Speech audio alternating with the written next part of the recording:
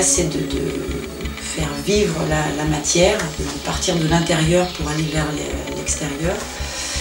Et, donc j'utilise des matériaux très, très fins, avec du, du grillage, avec des. C'est vrai que j'aime les percer. Euh, J'ai envie de, de- de montrer la fragilité de la vie, en fait, quelque part.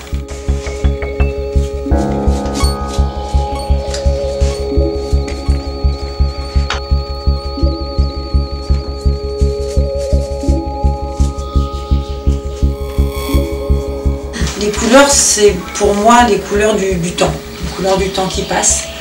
Euh, c'est pour ça que j'utilise des, verts de gris, des bruns, des, marrons. C'est vraiment lié au, lié, lié au temps, à l'usure. euh.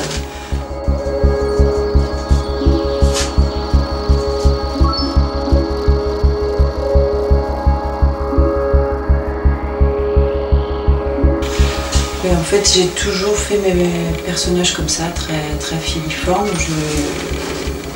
Je, tente de faire des personnages qui sont euh, euh, sur le fil de, la vie, toujours un petit peu euh, en équilibre. Et j'essaye de montrer une, fragilité et une force à la, fois en les, en les mettant dans le mouvement, dans la vie.